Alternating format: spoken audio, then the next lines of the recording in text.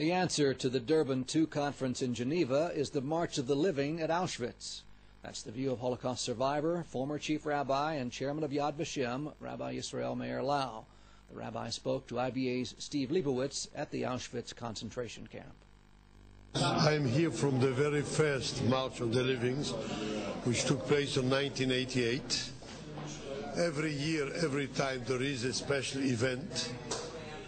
But this one, of course, is uh, on the background, I wouldn't say in the shadow of Geneva, Durban second. This is the answer to Durban second. If you see thousands of youth, Jewish children, boys and girls from about 50 different states all over the globe, this is a demonstration. Not only that Holocaust existed, to deny the deniers, but this is also a demonstration for the desire, our desire for life and for understanding with the entire world, except those who have some motives which are very unknown to me, like the president of Iran. Can you explain me what is his interest to deny Holocaust? Is he an historian, a professor of history in the academy life? What's his interest? Must be some interest. I am a little bit afraid of that interest. And I have learned that we have to take very seriously people, even if you think they are a little bit abnormal, take them seriously. We saw it here. This is my first time here. I was actually a little bit reluctant to come because I just didn't want to look back that far, you know, but I noticed here, and I was surprised about this, the outpouring of friendship from many of the Polish people, many hundreds of Poles that are here today to give out flowers and cards of friendship with the Jewish people. Is it time perhaps to look ahead?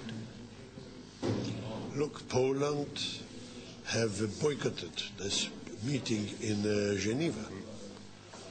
Poland is one of the countries who said no to this initiative of that convention in Geneva.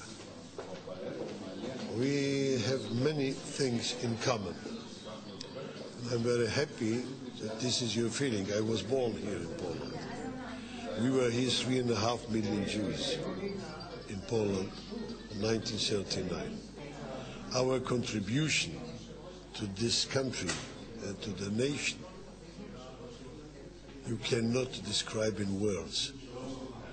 So I'm very happy that your feeling is accordingly that they know to appreciate how important is the friendship with Israel and with the Jewish people. We were in Krakow yesterday and we noticed that the synagogues uh, are flourishing, the Jewish quarter is even being rebuilt even without Jews, right? Klezmer festivals and so on. But the Poles seem to want to get connected to the Jewish heritage that no longer exists here. They have an interest also. It's not just just a solidarity with our heritage. It's an interest to bring tourists, to bring you, to bring the Israeli television. It's a good promo for the interest of this country, but this is permitted. So, you, from your point of view, the, the, Pol, the Polish government is is positive, is looking forward, Yeah. and is. I was at the cornerstone putting of the Jewish Museum in Warsaw a year, two years ago. Uh, I think that we can live in uh, a way of understanding, even friendship.